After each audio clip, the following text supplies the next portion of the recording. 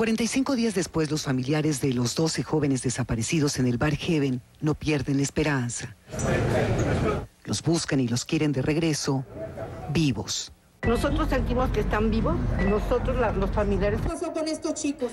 Aseguran que todavía no hay indicios sobre quiénes los secuestraron, pero se dicen confiados en cómo van las indagatorias. O sea, vamos a ser sinceros, ¿no? Digo, si estuvieran muertos ya no los hubieran dejado en cualquier lado. Eh, yo tengo mucha confianza en Dios, siempre se los he dicho, y pues en las autoridades tenemos que confiar. Una ayuda para encontrarlos porque del resto, por su propia seguridad, dicen, no quieren saber nada. Yo no quiero enterarme más de lo que yo no tenga que enterarme.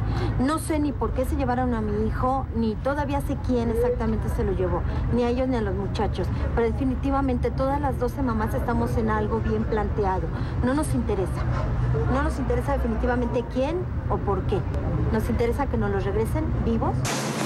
Hasta ahora se ha dictado auto de formal prisión a tres personas, entre ellos uno de los socios del Heaven, acusados por el delito de secuestro agravado.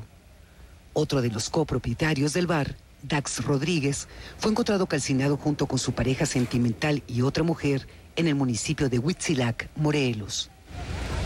Las autoridades además han cateado varios centros nocturnos de la capital a la búsqueda de evidencias.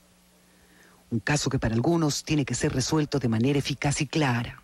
Son hechos muy graves que se tienen que resolver de manera clara a la sociedad se tiene que presentar a los cuerpos de esos 12 jóvenes que desaparecieron, vivos o muertos, como, como estén, y tiene que haber una explicación muy clara de quién ordenó esos levantamientos. Así como quiénes fueron los autores materiales y cuál el móvil.